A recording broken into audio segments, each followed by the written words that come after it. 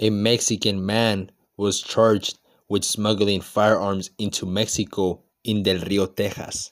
Del Rio, Texas is a small border town. Those small border towns usually go unnoticed. However, this man didn't go unnoticed. A federal grand jury in Del Rio returned an indictment last week charging a Mexican male with conspiring and attempting to smuggle firearms and ammunition into Mexico from the United States. According to the court documents, Jose Jesus Hernandez Valle, 54 years of age, conspired with others to smuggle a 9mm pistol, a 40 caliber pistol, and more than 200 rounds of ammunition and other related firearm accessories into Mexico.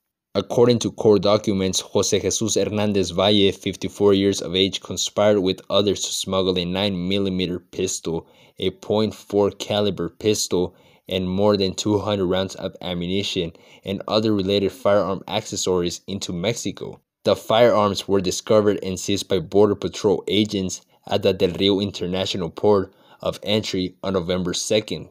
Hernandez Valle is charged with one count of conspiracy to smuggle goods from the U.S.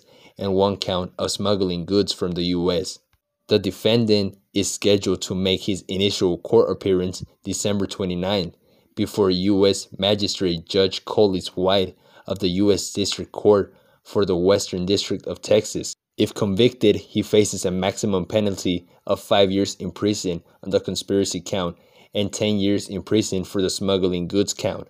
A federal district court judge will determine any sentence after considering the U.S. sentencing guidelines and other statutory factors.